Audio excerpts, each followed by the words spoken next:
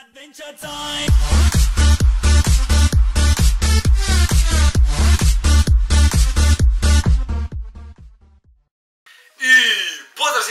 Nas u još jednom klipu, ja sam Milke i vi gledate novi klip na ovom kanalu ljudi kao što vidite danas ćemo radimo specifikacije, to je da vi ispričamo specifikacije o GTA 6 Znači u pitanju specifikacije za nadolazeću igru GTA 6 koja izaći vjerojatno 2018. godine Uh, I sada šta je fora ovdje jeste da uh, ono, ne znam koliko će biti ove tačne specifikacije, mislim da uopšte neće biti tačne, pošto ovo je nekako pretarano, ali ovako je Game the Beat uh, stavio, to je stavio te specifikacije, tako, da ćemo mi da njih pročitamo i da vidite o čemu se radi.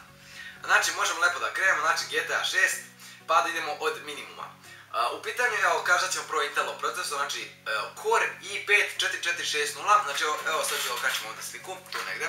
Znači Core i5 4460 3,2 GHz, uh, FX 8350 procesor AMD-ov, onda GTX 760 moja buduća grafa, znači evo ako ne verujem neko ovoga taj procesor, da, evo ga i5 4460, što je malo pretarano, ali dobro.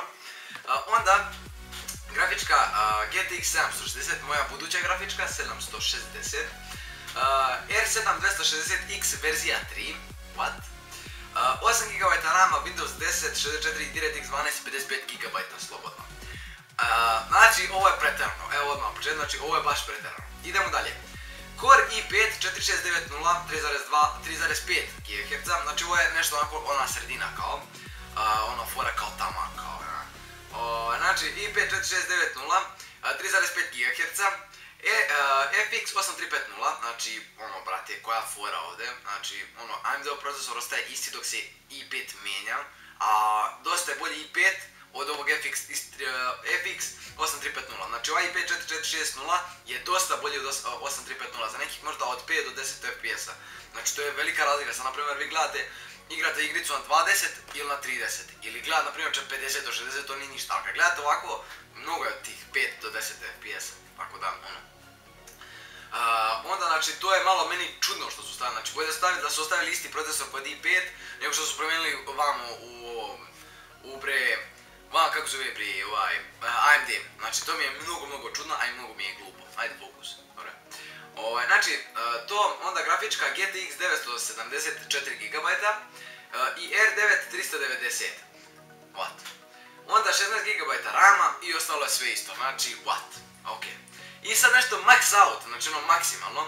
Znači moramo krenemo i7 47904 core 3.6 GHz, FX 8370, GTX 980 Ti 6 GB, znači 980 Ti, znači Titan. Onda R9 Fury X 4 GB i 16 GB RAM i sve ostalo je isto. Znači ljudi moji, ja mislim da ovo neće biti 100%, ja mislim da će ovo minimalno biti na sredini. I da će ovo što je na sredini biti, biti na maksimum, pošto nekako mi je nemoguće.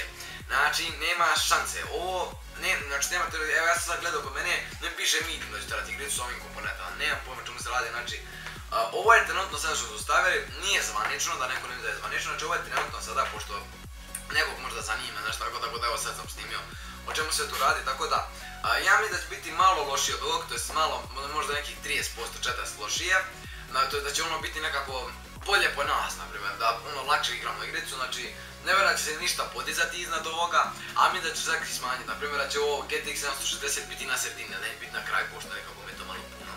Ali, dobro. Tako da ljudi, to je to što se tiče ovog klipa, hvala vam pošto ste postali mnogo aktivni na onom prošlom klipu, znači čak nam napuni 50 i nešto lajkova što je neverovatno ljudi, hvala vam puno. Znači ono, bio sam na ono da razmišljam da da prestanem snimam, ali kad sam vidio ovo, nema šanse. Tako da ljudi, hvala vam puno na aktivnosti, budite aktivni, znači bacite odmah lajke, znači odmah lajke na klip. Hvala vam puno, tako da vidimo u sljedećem klipu i PUM!